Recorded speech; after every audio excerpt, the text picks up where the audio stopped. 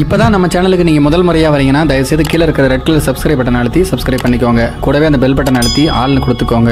அப்போ தான் நம்ம போடுற வீடியோ உங்களுக்கு தினமும் கிடைக்கும். சரி வாங்க இப்போ நம்ம வீடியோக்குள்ளே போகலாம். தலை சுற்ற வைக்கும் பண்டைய நாகரிகங்களின் பாலியல் செயல்பாடுகள் எப்படியெல்லாம் இருந்தது என்பது பற்றி இந்த வீடியோவில் நாம் இப்போது பார்க்கலாம். செக்ஸ் என்பது ஆரம்ப காலத்திலிருந்தே மனிதகுலத்தை கவர்ந்துள்ளது. ஆனால் நமக்கு தெரியாதது என்னவென்றால் கடந்த காலத்தில் மக்கள் சில தடைகளை வைத்திருந்தனர். ஆனால் அவர்கள் பாலுணர்வை இன்று நாம் செய்யும் செயல்களிலிருந்து முற்றிலும் வேறு ஒரு கண்ணோட்டத்தில் பார்த்தார்கள். கடந்த கால மக்களின் சில பாலியல் பழக்க வழக்கங்கள் நம்முடைய தற்போதைய பழக்க வழக்கங்களை விட மேம்பட்டு இருந்திருக்கின்றன. பண்டைய உலகம் தொழில்நுட்பத்தில் வேண்டுமானால் பின்தங்கி இருந்திருக்கலாம். ஆனால் பாலியல் குறித்த புரிதலில் தற்போதைய உலகத்தை விட மேம்பட்டதாகவே இருந்துள்ளது. ஏனெனில் தன்பாலின ஈர்ப்பு உட்பட இப்போதும் நாம் ஏற்றுக்கொள்ளாத பல விஷயங்களை கடந்த காலத்தில் அங்கீகரிக்கப்பட்டு அதன்படி வாழ்ந்திருக்கிறார்கள். ஆனால் அவர்களுடைய சில பாலியல் இன்றும் நம்மால் ஏற்றுக்கொள்ள முடியாததவையாகவும் நம்மை அதிர்ச்சியில் ஆழ்த்துவதாகவும் இருக்கிறது. அது பற்றி இப்போது நாம் பார்க்கலாம். கிரேக்கர்களின் சுய இன்பம். கிரேக்கர்கள் இரண்டு ஆண்கள் உறவில் இருப்பதை அனுமதித்தனர்.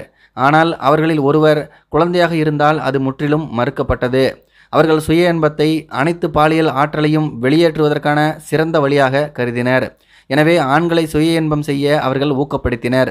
ஏனெனில் கற்பழிப்புகளை கட்டுப்படுத்துவதற்கான சிறந்த வழி என்று அவர்கள் கருதினர். ரோமானியர்களின் ஓரினச் சார்பு. ரோமானியர்களுக்கு ஒரு ஆண் ஓரினச் சேர்க்கையாளராக இருப்பது மிகவும் நன்றாக இருந்திருக்கிறது. ஆனால் பெண்கள் தன்பாலின ஈர்ப்பாளராக இருப்பதை அவர்கள் அனுமதிக்கவில்லை. ஆணாதிக்கம் மேலோங்கிய அந்த காலகட்டங்களில் பாலியல் செயல்கள் என்று வந்தபோது பெண்கள் தங்கள் விருப்பங்களை வெளிப்படுத்துவதற்கு அனுமதி கொடுக்கப்படவில்லை.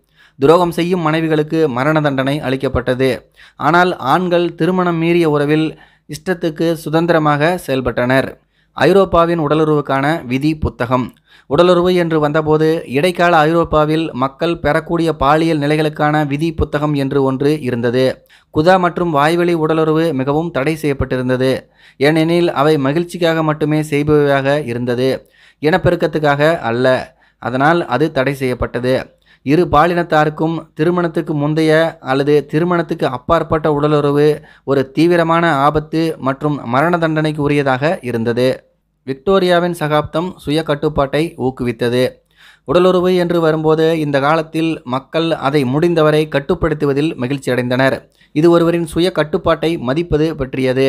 ஆண்களுக்கு விரைப்புத்தன்மையை தடுக்கும் கவ்வி வடிவில் மோதிரங்களும் இருந்திருக்கின்றன. அந்த அளவுக்கு அவர்கள் இறுக்கமாக இருந்திருக்கிறார்கள்.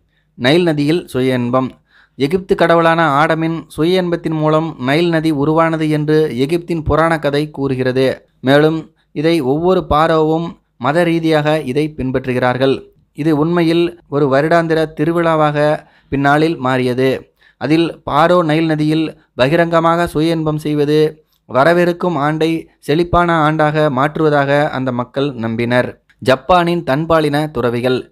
நிலப்பிரபுத்துவ ஜப்பானில் துறவிகள் மற்றும் சாமுராய் இடையே ஓரினச்சேர்க்கை உறவுகள் பரவலாக இருந்திருக்கின்றன. அவர்கள் தங்கள் மாணவர்களுடன் உடலுறவு கொள்வதை பாரம்பரியமாக கருதினர். அரேபியர்களின் பாலியல் வினோதங்கள். பண்டைய கால அரேபியர்கள் தாங்கள் உடலுறவு கொள்ளக்கூடிய குறிப்பிட்ட நாட்களை கொண்டிருந்தனர் மற்றும் அவர்கள் வெள்ளிக்கிழமைகளை சிறந்த நாளாக கருதினர். சீனர்களைப் போலவே அவர்களும் மனைவியை கடன் கொடுப்பதை கடைபிடித்தார்கள். மெசபடோமியா இந்த சகாப்தத்தில் கூட பாலியல் தாராளமாக இருப்பது கட்டாயமாக இருந்தது. ஆண்களும் பெண்களும் சமமாக தங்கள் பாலுணர்வை தேர்ந்தெடுக்கும் தங்கள் சொந்த விதிகளை வைத்திருந்தனர். இருந்தபோதிலும் இந்த நேரத்தில் ஓரினச் சேர்க்கை ஒரு விபச்சாரியுடன் இருந்தால் மட்டுமே ஏற்றுக்கொள்ளப்பட்டது.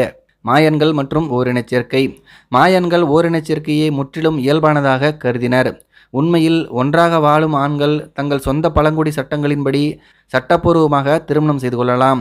அவர்கள் திருமணம் செய்து கொள்ளும் முன் ஆண்களை இருபது வயது வரை ஒன்றாக வாழ அனுமதித்தார்கள். இதை பற்றி உங்களுடைய கருத்துக்கள் என்ன அப்படிங்கிறது கீழே இருக்கிற கம்பாசில் தெரியப்படுத்துங்க. மேலும் இது போன்ற வீடியோக்களை பார்க்க நம்முடைய சேனலை சப்ஸ்கிரைப் பண்ணிக்கோங்க. நன்றி வணக்கம்.